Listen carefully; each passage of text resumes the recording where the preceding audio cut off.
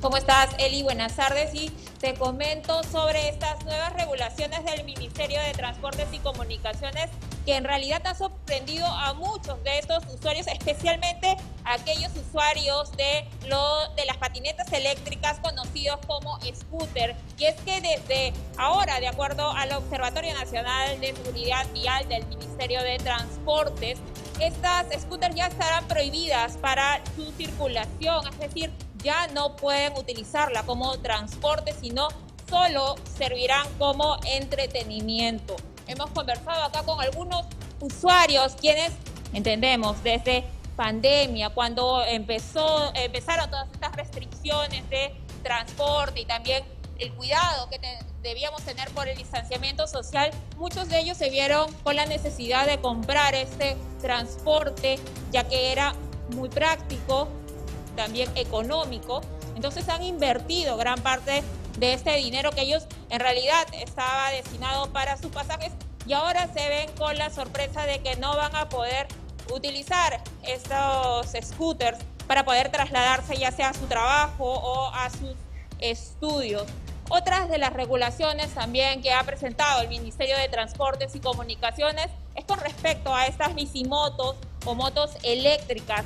Y es que estas bicimotos y motos eléctricas van a tener que ahora contar con ciertas regulaciones como contar con una placa, contar con el SOAT vigente, pero no solo eso, sino que también deben contar con un certificado de inspección técnica vehicular. Así como también contar con un brevete de clase B2, una serie de regulaciones que ha sorprendido a muchos de esos usuarios de estos transportes menores.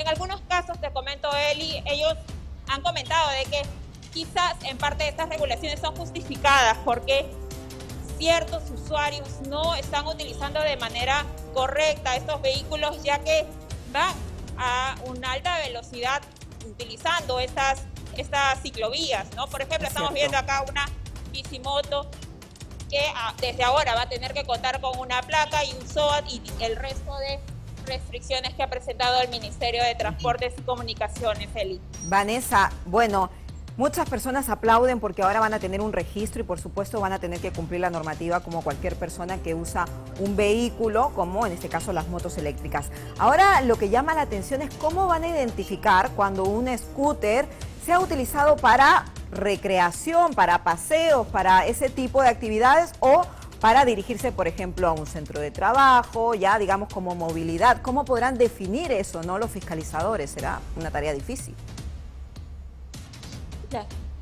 Exacto, eh, Eli, definitivamente va a ser una tarea difícil porque en realidad cómo es que esos fiscalizadores de, eh, ya sea de la municipalidad, van a poder verificar cuál ha sido el punto de salida y a dónde se dirigen para poder confirmar si se trata de una salida de entretenimiento o es que tratan de movilizarse a sus centros de estudios o trabajo, ¿no? Eso sí va a ser bastante difícil. Imaginamos que en el transcurso de esos días el Ministerio de Transportes y Comunicaciones pueda eh, detallar de qué manera van a eh, fiscalizar estas nuevas regulaciones.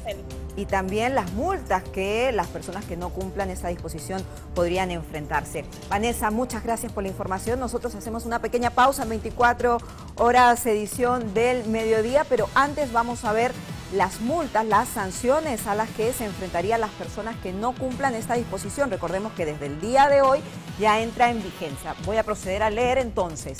2.100 soles y retención del vehículo por conducir sin brevete las motos eléctricas. 2.100 soles también y retención del vehículo por no contar con certificado del ITB. 1.008 soles por participar en competencias de velocidad no autorizadas.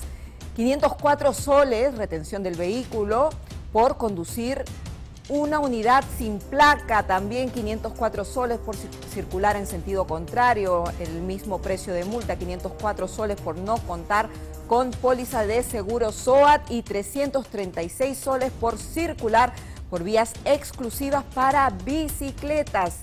Las patinetas eléctricas son para entretenimiento, no pueden ser usadas como medio de transporte. Y eso es lo que hablábamos con Vanessa, que va a ser muy difícil que los fiscalizadores o las personas encargadas de identificar estas unidades puedan comprobar si efectivamente es para uso recreativo o para transporte. Ahora sí que sí hacemos una pequeña...